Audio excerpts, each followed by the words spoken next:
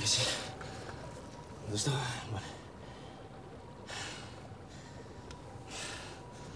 またやられっぱなしかお前。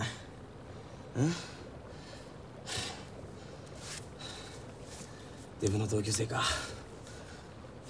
僕から喧嘩を仕掛けました。前から？人間は自分の尊厳にかけて戦わなくちゃいけない時があるんです何難しいこと言ってんだお前。あいつら僕のカバンにあった誕生会の招待状全部破ったんです。僕は絶対許せませんでした。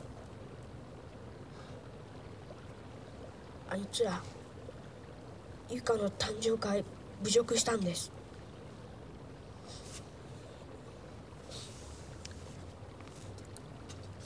石井さん。僕めちゃくちゃ負けまし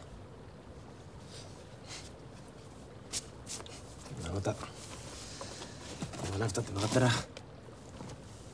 でも僕生まれて初めて相手を殴りました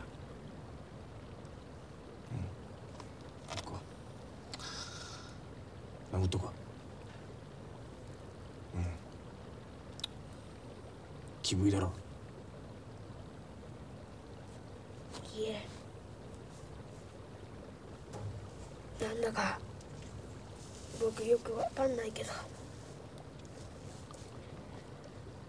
相手を殴った時とても悲しかったです。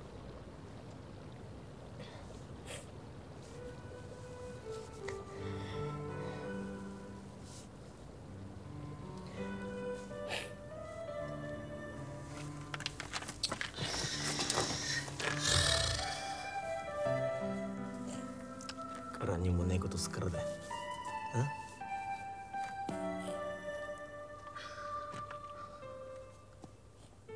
そんなに誕生会やりたかったのか？はい。